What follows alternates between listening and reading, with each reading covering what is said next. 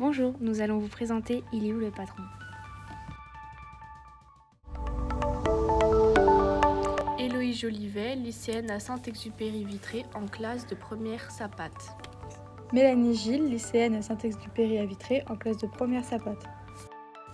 Naomi Baudouin, lycéenne à Saint-Exupéry-Vitré en classe de première sapate. Sloane Romingol, lycéenne au lycée Saint-Exupéry à Vitré en classe de première sapate. Je vais vous présenter les auteurs. C'est un collectif, Les Paysannes en Polaire, qui a inspiré et écrit le livre.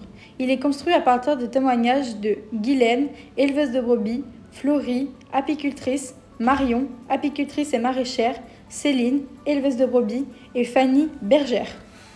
La dessinatrice Maude Bénézit dessine depuis l'enfance et rêve secrètement d'être autrice de BD. Elle devient en 2013 ingénieure agro et se retrouve à faire une thèse de recherche sur le petit pois. En 2016, réalisant que son rêve de petite fille est devenu bien lointain, elle arrête sa thèse pour se lancer dans l'illustration.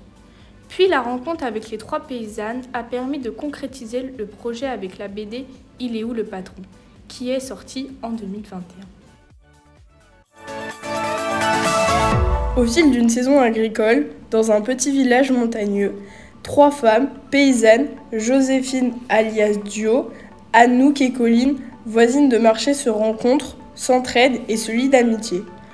En partageant leur expérience, ces trois femmes trouvent la force de faire entendre une autre voix que celle du patriarcat. Ces trois jeunes femmes, combatives et passionnées, gèrent leur propre ferme et se heurtent au machisme et au sexisme du milieu agricole. Avec comme seul de monde, il est où le patron? Joséphine vient de terminer ses études et décide de reprendre une ferme caprine. Elle est célibataire et engagée pour le féminisme. Originaire du village, Colline est mariée, elle a deux enfants.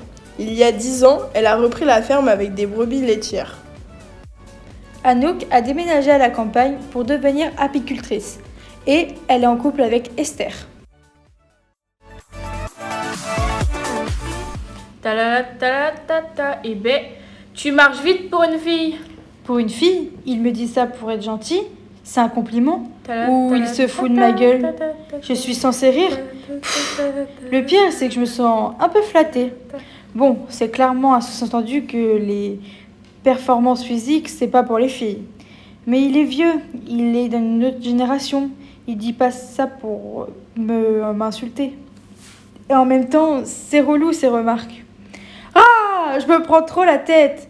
Et merde. Eh bah, t'es dans la ligne, regarde où tu mets les pieds. C'est bien les filles, ça.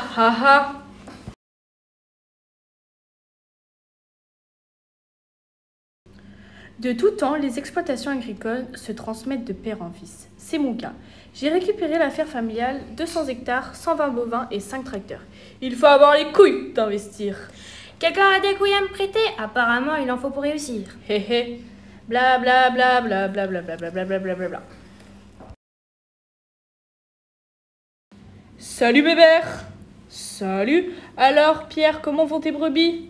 Super Colline, Pierre T'exagères, Pierre. T'aurais pu le corriger, c'est nos brebis. Oh, c'est une manière de parler. Tu connais bébert. Attention, deux demi s'il vous plaît. Allez, cul sec On n'est pas des PD Bla bla bla bla bla.